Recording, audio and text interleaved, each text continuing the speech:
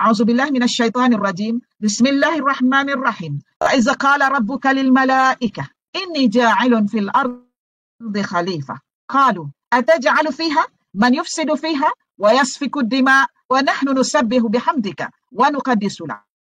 Qala inni a'lamu ma la ta'lamun. Firman Allah Subhanahu wa taala ini kepada Nabi Muhammad sallallahu alaihi wasallam dan ingatlah ketika Tuhanmu berfirman kepada para malaikat, aku hendak menjadikan khalifah di bumi. Mereka berkata, apakah engkau hendak, hendak menjadikan orang yang merosak dan menumpahkan darah di sana? Sedangkan kami bertasbih memujimu dan menyucikan namamu. Maka Allah Subhanahu Wa Taala berfirman, sungguh aku mengetahui yang kamu tidak ketahui. Daripada sini kita dapati bahawasanya terdapat empat clue yang jelas dari sudut bahasa dan konsep nahu Arab serta saraf bahawasanya Adam alaihissalam tidak berevolusi daripada uh, makhluk sebelum itu. Di sini izinkan saya keluarkan empat kelu ini. Yang pertama perkataan ja'ilun. Yang kedua perkataan ataja'alu. Yang ketiga perkataan man. Dan yang keempat perkataan yasfikud dima.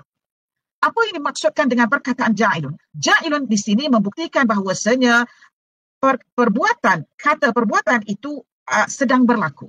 Ja'ilun dalam bahasa dalam nahu Arab dikenali sebagai isim fa'il. Maksud isim fa'il di sini ialah sedang melakukan. Seolah-olah dia ialah seperti fa'il tapi dalam bentuk kata isim nama. Ya? Maka di sini menunjukkan maksudnya sedang melakukan. Tak kala telah berkata Tuhanmu kepada malaikat, sesungguhnya aku ini sedang menjadikan. Menjadikan apa? Menjadikan seorang khalifah di atas muka bumi ini. Maka perkataan yang kedua kita pergi kepada at-taj'alu. Di mana apabila mendengar perkataan ini, ya, ini ja'alun fil ardi khalifah, maka qalu. Maka malaikat-malaikat itu berkata. Qalu itu jamak. Jamak yang menunjukkan kepada ramai lebih daripada dua orang. Ya, tiga, empat dan seterusnya. Jadi malaikat-malaikat ketika itu ramai dan telah bertanya balik kepada Allah Subhanahu Wa Taala. Ataj'alu fiha man yufsidu fiha wa yasfiku dima wa nahnu nusabbihu bihamdika wa nuqaddisu lak. Mereka-mereka itu bertanya, kamu mahu jadikan lagi kah apa yang ada di atas muka bumi ini? Fiha itu, ha betul, itu kepada art, kepada bumi. Man yufsidu fiha. Makhluk yang berkaki dua, ha, saya tidak mahu menggunakan manusia di sini. Ataupun orang di sini. Ya, Saya ingin menggunakan perkataan man yufsidu fiha bermaksud mereka yang berkaki dua yang sedang merosakkan bumi dan sedang menumpahkan darah. Wa yasfiku dima menumpahkan darah. Jadi perkataan yufsidu ini wa yasfiku dima wa yasfiku itu adalah fa'il mudhari dalam bentuk fa'il simentiknya adalah seperti konsep ja'ilah tadi iaitu bermaksud sedang berlaku. Sedang berlaku. Jadi di sini kita jelas bahawasanya ja'ilun itu sedang melakukan sedang mencipta dan pada waktu yang sama, ketika malaikat tanya balik, dia kata, Ataja'alu. Mereka bertanya, Ataja'alu.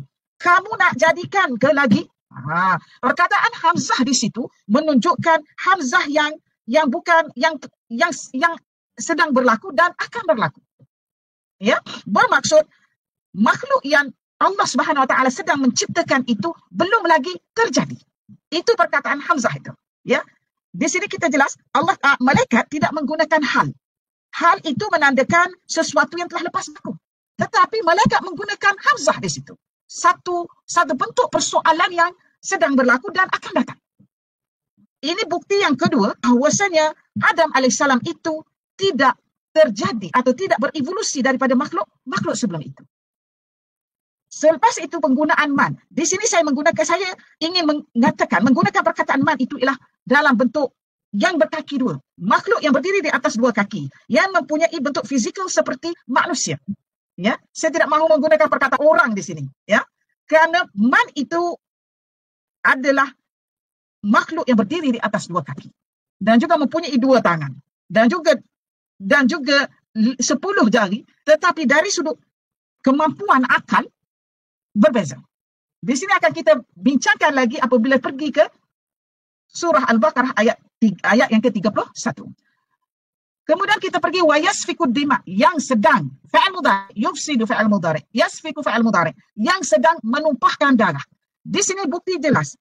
Ayat ini menunjukkan bahawasanya makhluk yang wujud sebelum Adam AS itu dalam ayat 30 surah Al-Baqarah ini adalah makhluk yang ada daging dan darah. Yang sedang bergaduh itu telah menumpahkan darah. Persoalannya, jin ada atau tidak? Jin wujud tetapi dalam surah yang lain. Ya, dalam ayat yang lain. Di sini dia fokus kepada makhluk yang berdaging dan berdarah ni. Kalau tidak berdaging macam kan ada darah. Ya, wa yufsiku wa yufsiku dema. Ya. Kemudian kita pergi kepada uh, selepas selepas itu dia uh, wa nahnu nusabbihu bihamdika.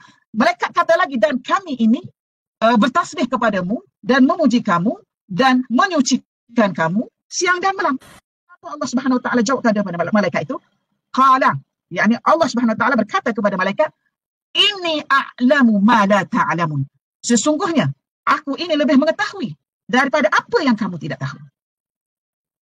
Ini bermaksud Allah Subhanahu Wa Taala tahu bahawasanya makhluk yang dia sedang jadikan itu adalah the best creation. Berbeza dengan makhluk yang ada tengah bertelahi dan menumpah darah pada ketika itu.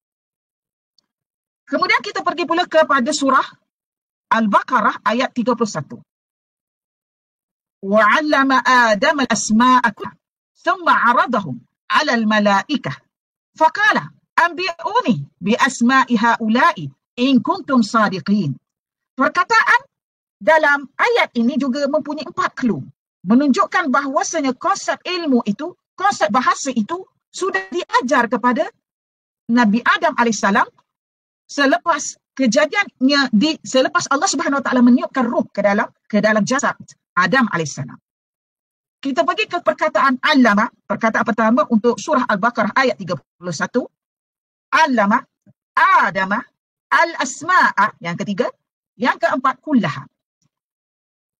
Kenapa alama itu menjadi satu perbincangan yang yang yang yang uh, signifikan ataupun yang penting di sini? Perkataan alama itu menunjukkan bahawasanya perkataan ini suatu perkataan yang kuat. Ya, kalau kita belajar nahu Arab dan uh, saraf Arab, kita tahu bahawasanya alama itu menerima dua transitif. Maknanya perkataan alama itu kuat. Ya, kuat. Dia menerima dua transitif di sini. Ya, alama adama al asma'a. Siapakah trans transitif di sini dan apakah transitif di sini? Transitif di sini ialah perkataan adama. Maksudnya, fa'al alama ini dalam nahu Arab kita panggil fa'al muta'addi yang menerima yang menerima transitif dua dua transitif serentak. Maknanya dia fa'al yang kuat, ya. Menerima dua transitif serentak, iaitu Adam alaihissalam dan al-asma'a. Bagaimana pula dengan kullaha? Kullaha itu merupakan taukid kepada al-asma'a itu tadi. Ya, merupakan taukid kepada al-asma'a yang mana menunjukkan nama-nama itu kesemuanya. Di manakah di manakah pembuat alamat itu? Pembuat alamat itu kembali kepada Rabbul Jalil. Allah Subhanahu Wa Taala. Allah Subhanahu Wa Taala telah mengajarkan Adam alaihissalam. Sebab itu Adam itu dibaca baris atas. Adam menunjukkan dia menerima transitif. Apabila penerimaan transitif berlaku, maka pembacaan mestilah dalam bentuk fathah. Dia panggil transitif yang pertama. Dalam nahu Arab dia kata maf'ulun bih al-awwal. Maf'ulun bih yang pertama. Al-asma'a pula adalah transitif yang kedua. Maf'ulun bih yang kedua. Kenapa wujud maf'ulun bih? Dua maf'ulun bih di sini. Kerana alama fa'il ataupun word ataupun perkataan kata kerja alama itu kuat sifatnya. Dia menerima dua transitif serentak. Dan bagaimana pula dengan kullaha? Kullaha pula merupakan satu bentuk penguat kepada nama-nama yang telah diajarkan oleh Allah Subhanahu Wa Taala kepada Adam alaihissalam. Selepas diajar Nabi Adam alaihissalam tentang kesemua nama-nama yang terdapat di dalam syurga ketika itu, Thumma aradahum alal malaikah. Kemudian aradahum. Aradahum itu perkataan aradahum itu kembali ataf kepada alama. Sesudah dia ajar Adam AS al-asma'a kullaha. Ya, kemudian dia membangkan aradahum itu perkataan hum itu berdasarkan pada pasir sama ada Ibnu Ibnu Kasir, Al-Qurtubi, As-Sa'di, At-Tantawi. Mereka beranggapan mereka menganggap bahawa hum itu kembali kepada al asma'a kullaha. Ai bermaksud di sini sahibul asma sahibul asma. Sebagai contohnya uh, sungai uh, jabal ataupun uh, gunung ganang batu uh, air dan sebagainya di situ mereka bersepakat mengatakan itu kembali kepada al asma'a kullaha Allah Ta'ala membentangkan, memberitahu kepada alal malaikah ke atas ke, kepada malaikat tentang nama-nama yang dia telah ajarkan kepada Adam AS.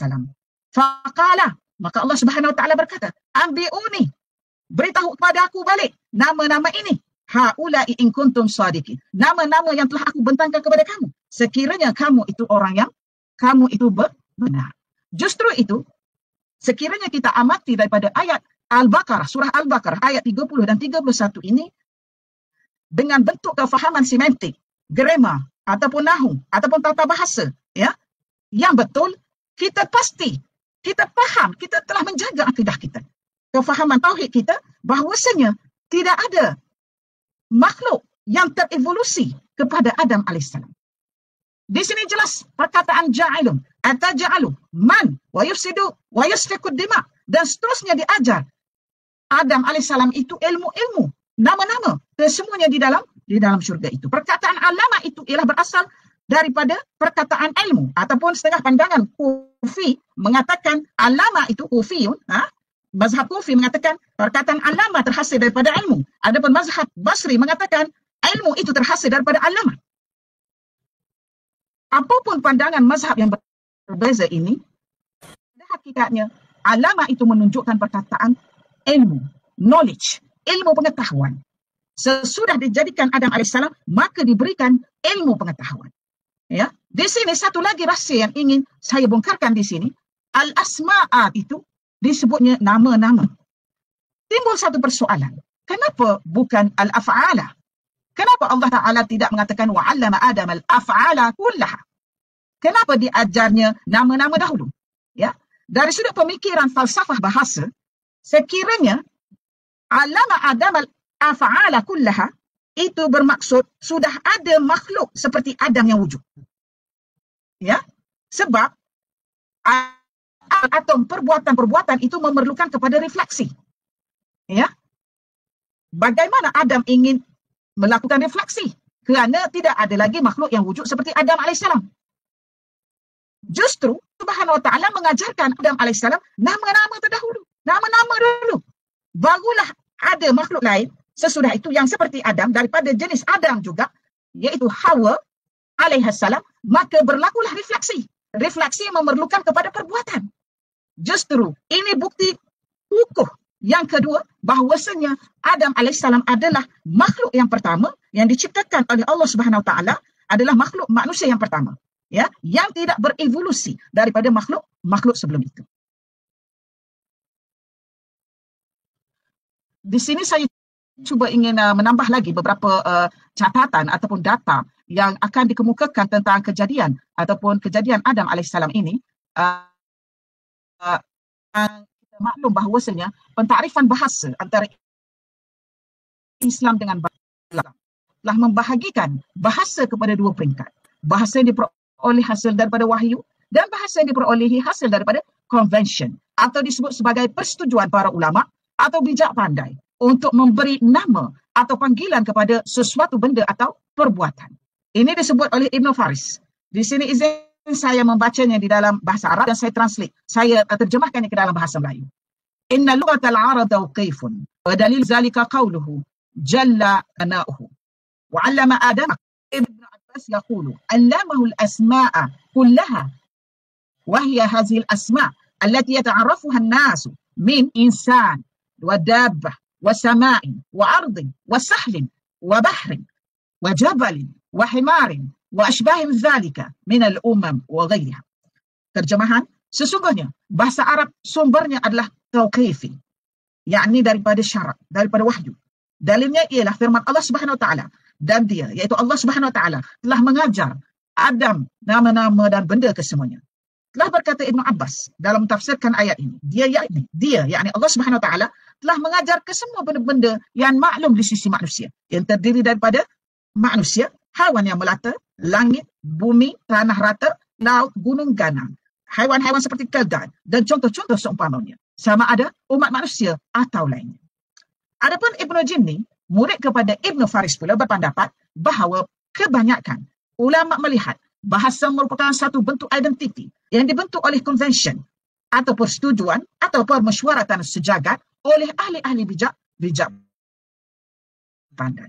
Di mana هذا موضوع محوج إلى فضل تأمل غير أن أكبر أهل النظر على أن أصل اللغة إنما هو تواضع واصطلاح لا وحي ولا توقيف terjemahan ini adalah subjek yang memerlukan kepada perhatian yang besar sedangkan kebanyakan ahli fikir berpendapat bahawa asal usul bahasa hanyalah melalui persetujuan dan penetapan manusia bukannya bersumberkan wahyu dan bukan juga penetapan atau penetapan daripada syarat beliau menambah lagi وذهب بعضهم إلى أن أصل اللغات كلها إنما هو من الأصوات المسموعات.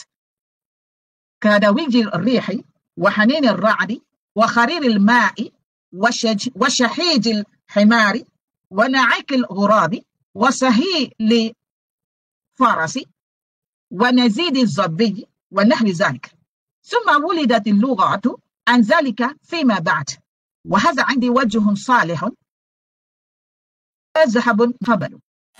Setengah ahli fikir berpendapat bahawa asal-usul semua bahasa adalah daripada bunyian yang didengar seperti desiran angin, dentuman guru, kericik air, ringkikan kelda, gaukan gagak, ringkikan kuda, longahan kijang dan selainnya. Kemudian terlahirlah bahasa dari hasil bunyi-bunyian tersebut. Bagi saya, ini adalah alasan yang layak dipertimbangkan dan pandangan yang boleh diterima. Kenyataan ini amat menyerupai kenyataan Aristotle dalam bukunya The Interpretation yang beranggapan bahawa bahasa terhasil daripada konsep convention. I say by convention because no name is named naturally but only when it has become a symbol. Even inarticulate noises of beasts, for instance, do indeed reveal something yet none of them is a name. Bermaksud, saya katakan ia adalah convention kerana tiada nama dalam bentuk semula jadi terjadinya wujud hanyalah simbol. Bahkan bunyi yang tidak jelas sebutannya. Misalnya bunyi serangga. Memang mengungkapkan sesuatu. Namun tidak satu pun dari mereka adalah nama. Daripada kenyataan tersebut, dapatlah kita buat kesimpulan bahawa sesuatu yang terhasil secara semula jadi, itu tidak bernama. Bunyi yang terbit secara semula jadi itu terhasil. Apabila terdapat tekanan besar. Cuba kita telusuri pula pendapat barat bahawa bahasa bertuturan dan penulisan pada asalnya ialah sesuatu yang tidak dapat dikira kemudian sistem dicipta untuk membolehkan bahasa itu diguna pakai dalam bentuk yang terkategori atau finit. Oleh itu konsep tata bahasa berperanan menyusunnya seperti yang telah disebut oleh Chomsky dalam bukunya Syntactic Structures. I will consider a language to be a set, finite or infinite, of sentences, each finite in length and constructed out of a finite set of elements. All natural languages, in their spoken or written form, are languages in this sense, since each language has a finite number of phonemes or letters in its alphabet, and each sentence is representable as a finite sequence of these phonemes or letters. However, there are infinitely many sentences. Yang bermaksud, bagi saya, bahasa satu set atau rangkuman yang terbatas dan tidak terbatas. Yang mana set rangkuman ini telah dan pembentukan secara semula jadi bahasa itu sendiri. Sama ada dalam bentuk lisan atau simbol dalam penulisan. Ini terjadi kerana setiap bahasa mempunyai jumlah fonem yang hak, iaitu huruf dalam abjad. Namun fonem ini boleh menjadi tak terhingga ataupun infinite apabila berlaku penggabungan suku kata di dalam fonem-fonem tersebut. Hasilnya adalah ketidakterbatasan dalam ciptaan, perkataan atau kalimah berlaku. Berdasarkan kenyataan ini, maka jelaslah kepada kita bahawasanya makhluk sebelum Adam AS tidak mampu untuk membina perkataan yang berangkai-rangkai seperti mana yang telah disebutkan oleh Chomsky ini. Mereka tidak mampu membina infinite, membina infinite terhadap penggabungan suku kata di dalam fonem-fonem. Maka ketidakmampuan membina suku kata yang berangkai-rangkai ini telah menyebabkan mereka tidak mampu membina tamadun. Justru tamadun hanya bermula apabila wujudnya manusia pertama di atas muka bumi ini iaitu Adam alaihi salam. Oleh itu jika dilihat takrifan bahasa daripada kedua benda ini pembahagian konsep takrifan bahasa dalam Islam boleh dibahagikan kepada bahasa yang terhasil dari kata-kata Tuhan dan bahasa yang terhasil daripada kata-kata yang dicipta oleh manusia. Barat pula melihat konsep bahasa dalam bentuk yang lebih berfokus kepada pembentukan perkataan pandangan agak sempit apabila bahasa itu ditarifkan hanya berdasarkan sesuatu teknik pembuatan yang tidak disusuli oleh falsafah ketuhanan atau dalam erti kata lain terlalu bersifat naturalistik atau mati. Namun begitu, tidak semua masyarakat barat melihat perkembangan bahasa itu bersifat materialistik yang terbentuk hasil dari simbol tertentu. Bagi Noam Chomsky, seorang ahli falsafah barat, percaya bahawa konsep bahasa ini mempunyai kaitan dengan pemikiran. Baginya, bahasalah yang dapat menggambarkan pemikiran seseorang. Manakala tulisan pula hanyalah simbol yang bertugas sebagai penting terhadap perkataan yang diucapkan. Di mana kesemuanya berlaku melalui proses pemikiran. Yang mana disebut oleh Aristotle sebagai Now spoken sounds are symbols of affections in the soul. Written marks are symbols of preference in the soul. And registered marks are symbol of spoken sounds. Ya, yang bermaksud kata-kata lisan adalah simbol pengalaman mental dan kata-kata bertulis adalah simbol kata-kata yang diucapkan. Ya, ini disebutkan dengan simbol yang berevolusi. Saya ini, maka kita pergi pula kepada uh, kejadian uh, manusia keseluruhannya ya. Uh, sebagaimana kita maklum bahawasanya Adam alaihissalam itu adalah makhluk yang pertama dan manusia ataupun anak-anak Adam yang terlahir daripada uh, daripada tulang belakang uh, tulang belakang seorang bapa ataupun Adam alaihissalam itu kejadiannya adalah berperingkat ya berperingkat. Di sini saya rasa ramai yang keliru. Hasil daripada peringkat peringkat-peringkat yang dilalui oleh uh, oleh uh, kejadian manusia itu dalam perut ibu maka mereka beranggapan berlakulah evolusi terhadap Adam. Di sana terjadinya atwaran disebut atwaran ya kejadian peringkat, uh, tingkatan tingkatan pembesaran embrio ataupun baby itu di dalam perut ibu. Ya di sini terdapat dua kejadian bersifat tidak berevolusi daripada uh, sebelumnya kita pada surah Al-Baqarah yang telah kita bincangkan tadi ya. Adapun anak-anak Adam atau Bani Adam termasuklah kita semua ini kejadian kita kejadian berperingkat ya.